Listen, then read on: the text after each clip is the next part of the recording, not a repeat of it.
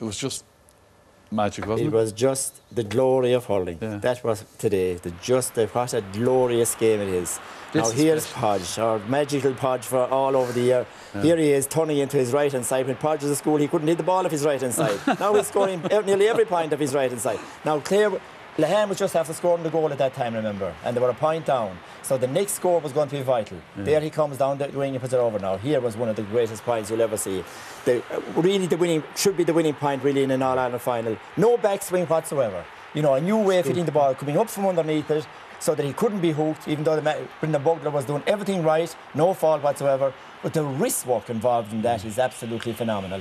And then how Clare worked. This is as much a tribute to Davy as anybody else. How Clare worked, didn't panic, no throwing the ball into the full forward line. How Clare worked the possession, got the loose man into space, and who's there? Domhnall O'Donovan, the corner back. I was at the Laois game, and every, I think nearly every Clare player scored except Domhnall O'Donovan, right?